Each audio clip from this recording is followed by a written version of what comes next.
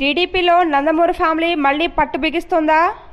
వచ్చే ఎన్నికల్లో పోటీ చేయడం మాట ఏమిటో కానీ చంద్రబాబు నాయుడుపై నాలుగు వైపులా ఒత్తిళ్ళు పెరిగిపోతున్నాయి. మిగిలిన నేతల మాట ఎలా ఉన్నా నందమూరి కుటుంబం నుంచి వచ్చే ఎన్నికల్లో మరో ఇద్దరు పోటీ చేయడానికి రెడీ అవుతున్నట్లు పార్టీ వర్గాలు చెబుతున్నాయి. ఇప్పటికే హిందూపురంలో నందమూరి బాలకృష్ణ సిట్టింగ్ ఎమ్మెల్యేగా ఉన్నారు. బాలయ్యకు తోడు వచ్చే ఎన్నికల్లో నందమూరి చైతన్య కృష్ణ నందమూరి తారకరత్న కూడా పోటీలోకి దిగాలని డిసైడ్ అయ్యారట. చైతన్య ఏమో తాత పార్టీ వ్యవస్థాపకుడు ఎన్టీఆర్ పోటీ చేసిన గుడివాడ నుంచే రంగంలోకి దిగడానికి రెడీ అవుతున్నాడట.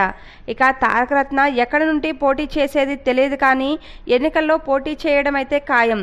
తాను పోటీ చేయబోతున్నట్లు స్వయంగా తారకరత్నే ఈ మధ్య ప్రకటించారు. తన పోటీ గురించి ప్రకటించడమే కాకుండా తన సోదరుడు జూనియర్ ఎన్టీఆర్ పార్టీకి ప్రచారం చేస్తారని కూడా చెప్పేశారు.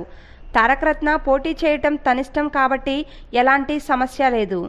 అయితే జూనియర్ ఎన్టీఆర్ పార్టీకి ప్రచారం చేస్తారని ప్రకటించడమే విడ్డూరంగా ఉంది. చాలా కాలంగా జూనియర్ ఎన్టీఆర్ పార్టీకి దూరంగా ఉంటున్న విషయం తెలిసిందే. ముందు జాగ్రత్తగా చంద్రబాబే కొడుకు లోకేష్ కోసం జూనియర్ను పార్టీ దరిదాపుల్లోకి కూడా రానియటం లేదు. జూనియర్ గనుక పార్టీలో యాక్టివ్గా ఉంటే కొడుకును ఎవరూ పట్టించుకోరని చంద్రబాబుకు బాగా తెలుసు. కాబట్టి అవసరానికి వాడుకొని యూజ్ అండ్ త్రో పాలసీని అప్లై చేయాలని చంద్రబాబు అనుకున్నారు. ఈ విషయం అర్థమైంది కాబట్టి జూనియర్ అసలు పార్టీ దగ్గరికే రావటం లేదు. పార్టీలోని చాలామంది సీనియర్లు జూనియర్ ప్రస్తావనతో చంద్రబాబును ఇబ్బంది పెడుతున్నారు. జూనియర్ను పార్టీలో యాక్టివ్ చేయకపోతే పార్టీకి భవిష్యత్తు లేదని పదే పదే చెబుతున్నారు. అలాంటిది ఇప్పుడు తారకరత్న కూడా అలాంటి ప్రకటనే చేయడం చంద్రబాబుకు ఖచ్చితంగా చికాకు పుట్టించేదే. జూనియర్ పేరెత్తితేనే తండ్రి కొడుకులకు ఎంత మంటగా ఉంటుందో అందరికీ తెలుసు.